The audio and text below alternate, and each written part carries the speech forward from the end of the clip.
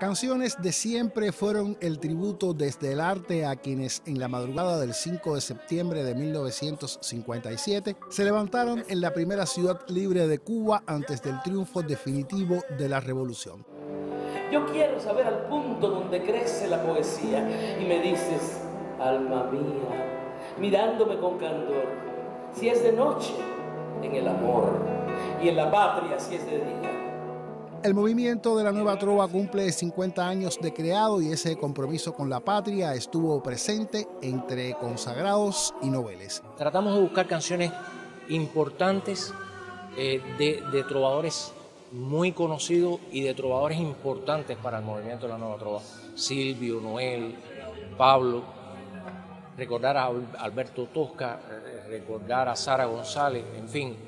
Lo que intentamos fue precisamente eso, que, traer una vez más eh, a, la, memoria de, todo el mundo dentro de una fecha tan importante para, nosotros los enfueros y creo que también para todos los cubanos, como es el 5 de septiembre, eh, traer a la memoria a la trova, a la nueva trova cubana. Corina Mestre y Augusto Blanca, Eduardo Sosa y Marta Campo, nuestros hermanos Novo, el dúo Asizón, Mandy Álvarez y Nelson Valdés, entre otros conocidos trovadores, repasaron un panorama auténticamente cubano para cerrar con una canción de un cienfueguero que aunque ausente, siempre será un ícono del amor. Nada que hacemos nosotros está fuera de Lázaro García.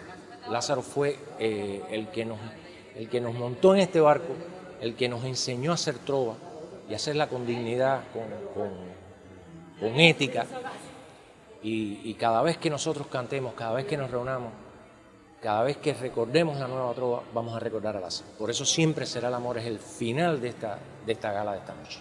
Reconocimiento del presidente cubano y de quienes le acompañaron en esta trovada a un público agradecido que reverenció a sus artistas por una noche de fidelidad.